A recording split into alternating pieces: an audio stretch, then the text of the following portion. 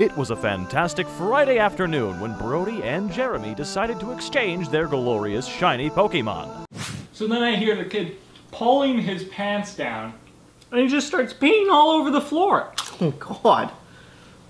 Yeah, so I'm in the stall next to him, and the pee just starts flowing to my side. Yeah, exactly.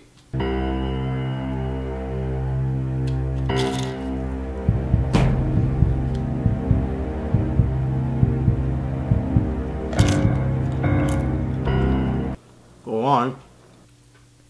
Are you serious? What? I just saw what you did. What are you talking about? You want to mess with me? Well, guess what? No deal.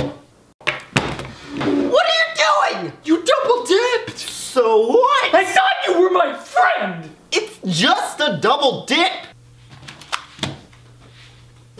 And to think I was going to give my shiny Gyarados to a double dipping D-bag. Take it back. No! Take it back! No.